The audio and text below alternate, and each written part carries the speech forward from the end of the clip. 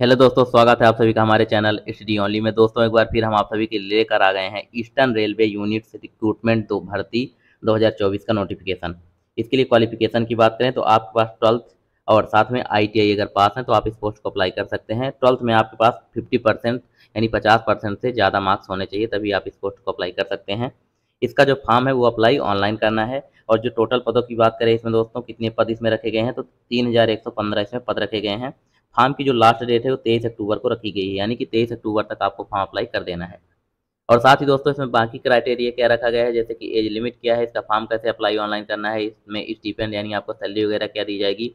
ये सारी जानकारी हम आपको इस वीडियो में स्टेप बाय स्टेप बताएँगे। बस आप लोग हमारे साथ वीडियो के अंदर बने रहिए। और हाँ दोस्तों, अगर आप हमारे चैनल पर नए हैं तो चैनल को सब्सक्राइब और वीडियो को लाइक ज़रूर कर लीजिए। और साथ ही बेल आइकन भी प्रेस कर लीजिए, क्योंकि हम आप लोग के लिए ऐसे ही गवर्नमेंट जॉब से रिलेटेड अपडेटेड वीडियो लेकर आते रहते हैं। तो आइए दोस्तों, स्टार्ट करते हैं आज का वीडियो। तो दोस्तों, हम इसका सबसे पहले नोटिफिकेशन देख लेते हैं Eastern Railway Railway Recruitment Cell Kolkata. और हाँ दोस्तों, अगर आपको ये नोटिफिकेशन पढ़ना है, देखना है तो हमारे जो टेलीग्राम चैनल है, जिसका लिंक आपको वीडियो के डिस्क्रिप्शन मिल जाएगा, वहाँ से टेलीग्राम चैनल ज्वाइन करके आप ये पूरा जो नोटिफिकेशन है, खुद से भी पढ़ सकते हैं और देख सकते हैं। बाकी इसके बारे में हम डिटेल में तो यहाँ बताएँगे ही। अगर आपको यह नोटिफिकेशन खुद से पढ़ना है तो आप लोग हमारा टेलीग्राम चैनल ज्वाइन ज़रूर कर लीजिए। और साथ ही जो भी लेटेस्ट गवर्नमेंट जॉब से रिलेटेड अपडेटेड नोटिफिकेशन और जो भी चीज़ें आती है दोस्तों तो हम वहीं अपने टेलीग्राम चैनल पर डाल देते हैं तो आप लोग वहाँ से वो सारी चीज़ें भी देख सकते हैं। तो इसलिए आप लोग टेलीग्राम चैनल ज्वाइन ज़रूर कर लीजिए। फिर दोस्तों इसमें आगे हम देख लेते हैं क्या दिए गए तो notification for engagement of act apprentice for training slots in Eastern Railway units जो कि अप्रेंटिस जो है वो 2024 और 25 के लिए नोटिफिकेशन जारी किया गया है। फिर दोस्तों इसमें शेड्यूल दिया गया है तो देख लेते हैं शेड्यूल क्या दिया गया है सबसे पहले। तो डेट ऑफ़ पब्लिकेशन दी गई इसमें तो नौ नौ, यानी नौ सितंबर 2024 को इसका जो है वो नोटिफिकेशन जारी किया गया है। वहीं ओपनिंग डेट यानी कि फॉर्म जब ऑनलाइन आपका कभी स्टार्ट होगा तो वो 24 सितंबर से स्टार्ट हो जाएगा, और फॉर्म की जो लास्ट डेट रखी गई वो तेईस तेईस अक्टूबर तक रखी गई है। फॉर्म की जो लास्ट डेट है वो तेईस अक्टूबर तक रखी गई है।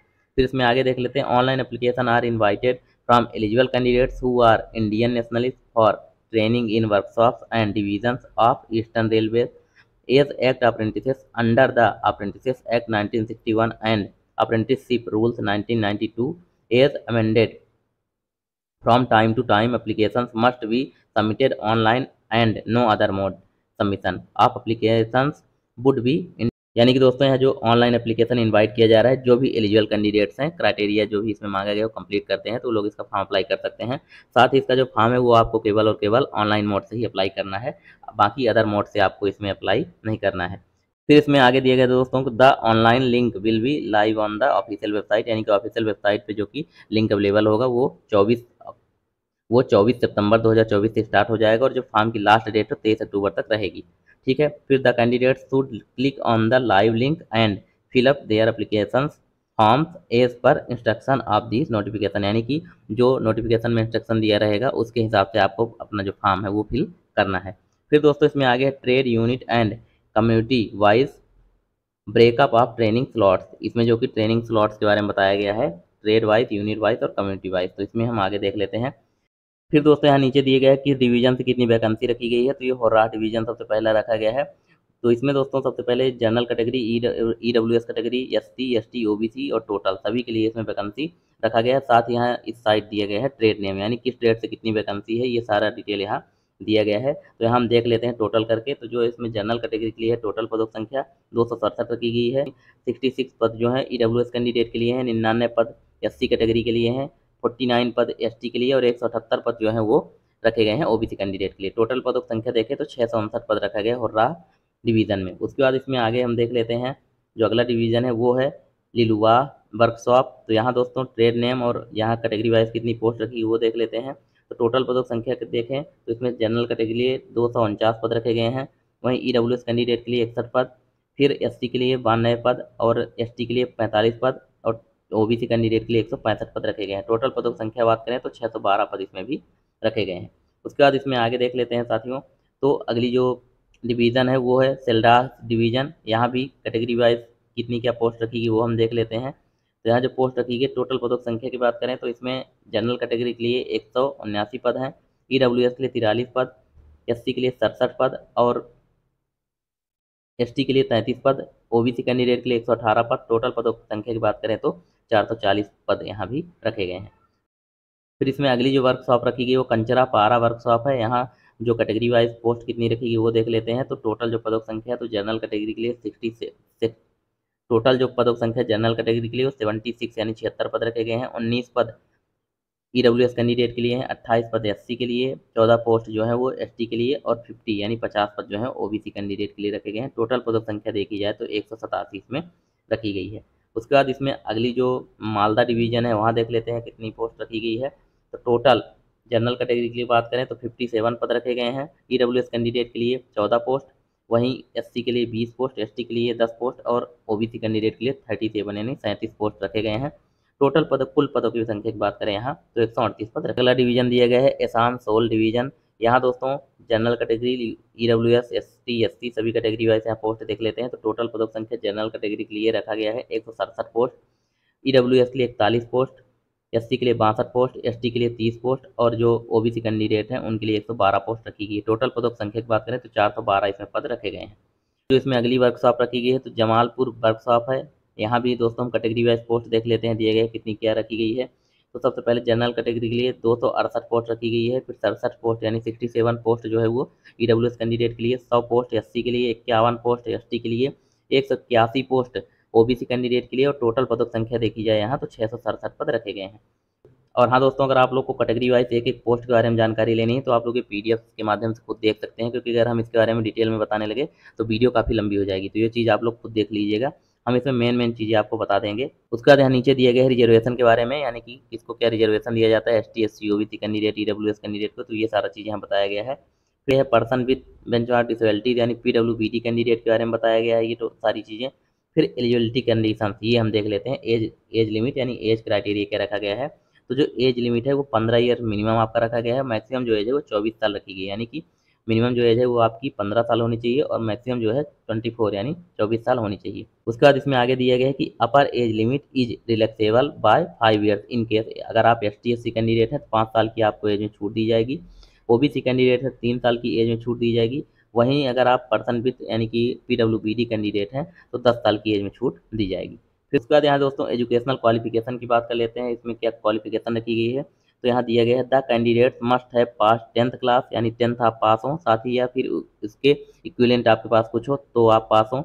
या और, साथ ही दोस्तों, ten plus two examination system यानी टेन प्लस टू भी आपको पास होना है with minimum fifty percent marks के साथ, यानी पचास परसेंट मार्क्स के साथ आपके पास ट्वेल्थ होना चाहिए, टेंथ तो आप पास ही हो। इसके अलावा आपके पास आई का सर्टिफिकेट साथ ही एन और एस से हो तो आप इस पोस्ट को अप्लाई कर सकते हैं ना? दो में से किसी एक से आपके पास जो आईटीआई है, उसका सर्टिफिकेट होना चाहिए, वो भी पास हो तो आप इस पोस्ट को अप्लाई कर सकते हैं। फिर यहाँ नीचे मेडिकल फिटनेस की बात की गई है मेडिकल फिटनेस के बारे में बताया गया है। फिर मोड ऑफ़ सिलेक्शन के बारे में बताया गया है तो मोड ऑफ़ सिलेक्शन जो है मेरिट आधार पर सिलेक्शन इसमें किया जाएगा।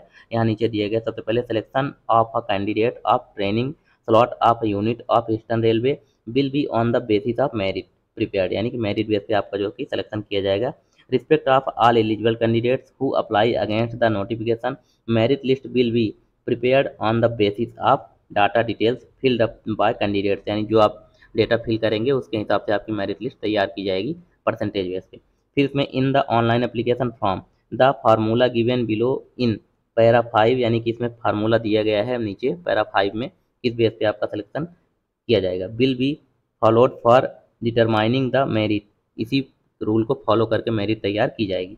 फिर दोस्तों इसमें आगे है if any candidates fills up wrong details अगर आप में से कोई भी कैंडिडेट गलत जानकारी अपने बारे में देता है तो देन हिज हर वो चाहे हिज हो, चाहे हर हो, यानी मेल हो या female candidate will be cancelled as soon as the discrepancy comes in the notice of railway administration यानी कि आपका जो फॉर्म है वो कैंसिल कर दिया जाएगा जल्द से जल्द, और साथ ही आपको एक नोटिस भी प्रोवाइड किया जाएगा रेलवे एडमिनिस्ट्रेशन की तरफ़ से। उसके बाद इसमें आगे था select list for document verification जो भी कैंडिडेट सेलेक्ट हो गए, उनको डॉक्यूमेंट वेरिफिकेशन के लिए बुलाया जाएगा डीबी के लिए।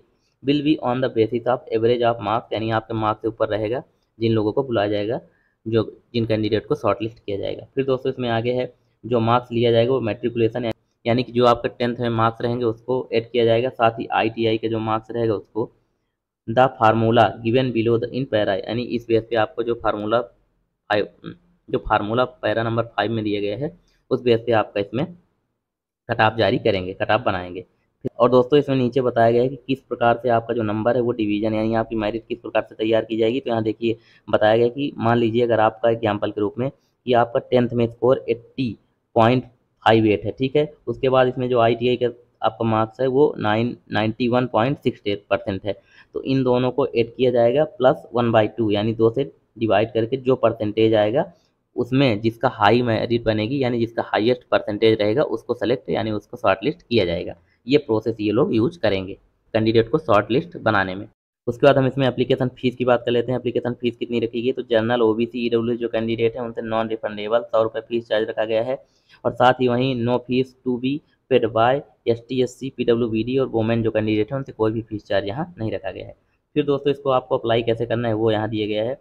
तो बिफोर अप्लाइंग यानी अप्लाई करने से पहले आपको सारा नोटिफिकेशन वगैरह, ये सारी चीज़ें आपको डिटेल में पढ़ लेनी है। उसके बाद ही आपको फॉर्म अप्लाई करना है, यहाँ बताया गया है। उसके बाद आपको अप्लाई करने के लिए जो वेबसाइट दिए गए हैं ऑनलाइन माध्यम से डब्ल्यू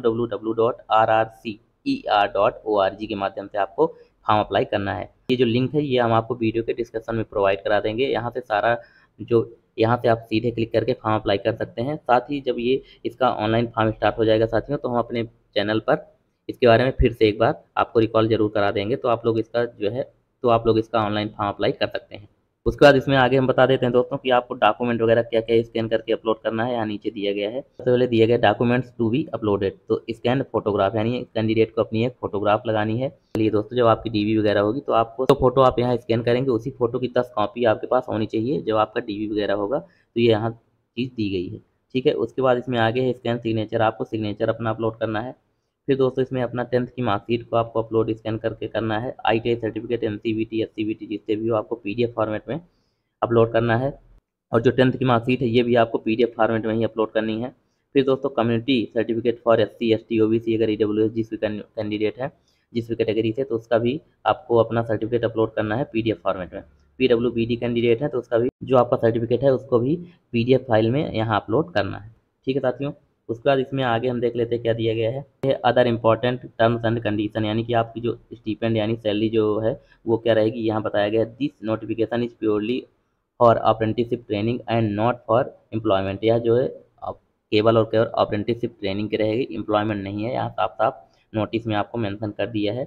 हाँ दोस्तों, इसमें आगे बताया गया है कि हाउ ट्वेंटी परसेंट इसमें से जितनी वैकेंसी है, इकतीस सौ पंद्रह जो पोस्ट है, इसमें से इसका ट्वेंटी परसेंट जो पोस्ट है उनको ये फिल करेंगे लेवल वन के रूप में। ठीक है साथियों? तो उनकी जो सैलरी है ग्रुप डी के पोस्ट पे ग्रुप डी की कैटेगरी की पोस्ट पे इनको सेलेक्ट करेंगे ट्वेंटी परसेंट को। और इनका जो ग्रेड पे रहेगा वो अठारह सौ रुपये जो ग्रेड पे होता है, उस पे इनका रहेगा।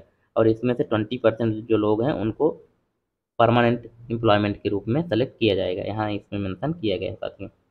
लोग इसका जो भी इंटरेस्टेड कैंडिडेट हों तो वो लोग इसका फॉर्म जो है वो अप्लाई कर सकते हैं, जो लोग भी एलिजिबिलिटी और क्राइटेरिया कंप्लीट रखते हैं। बाकी दोस्तों, अगर हमारे द्वारा दी गई जानकारी आपको अच्छी लगी तो हमारे चैनल को सब्सक्राइब और वीडियो को लाइक ज़रूर कर लीजिए और साथ ही बेल आइकन भी प्रेस कर लीजिए, क्योंकि हम ऐसे ही गवर्नमेंट जॉब से रिलेटेड अपडेटेड वीडियो लेकर आते रहते हैं। तो मिलते हैं दोस्तों, नेक्स्ट वीडियो में, तब तक के लिए धन्यवाद।